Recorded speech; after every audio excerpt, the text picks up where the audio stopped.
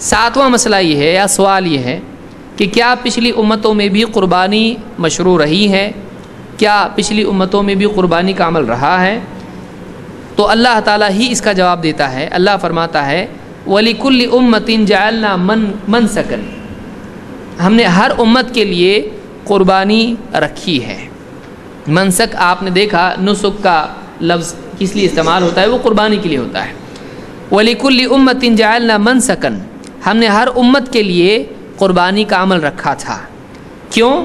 لید قرسم اللہ علامہ رضا کا ہم بہی مت الانعام، تاکہ لوگ اللہ کا نام وہ چوپائے جو ہم نے ان کو دیے ہیں، بطور رزق بطور رزق جو چوپائے ہم نے ان کو دیے ہیں، ان پر اللہ کا نام وہ لی تو اللہ نے جو جانور انسان کے تابع کیے ہیں، ان جانوروں کو ذبح کریں اور ذبح کرتے وقت کیا کریں وہ؟ اللہ کا نام لیں اللہ تعالیٰ نے ایسا دن ہر امت میں رکھا ہے جو قربانی کا دن تھا۔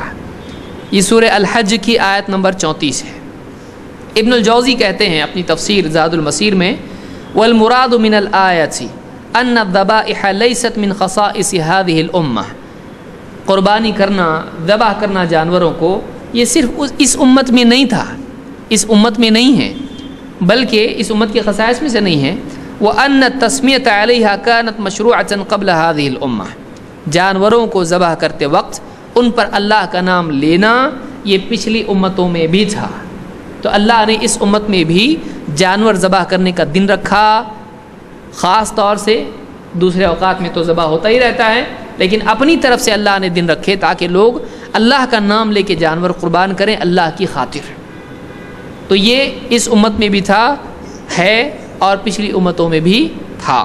تو قربانی کوئی نیا عمل نہیں، لوگ بہت سارے بولتے ہیں، کیا تم لوگ جانوروں کو ذبح کرتے ہو؟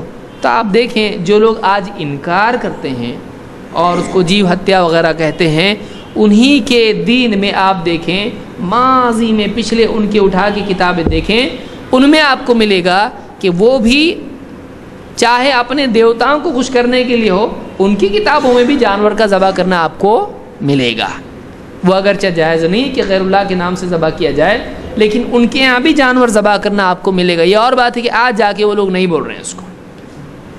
تو جانوروں کا ذبح کرنا تمام ملتوں میں رہا ہے۔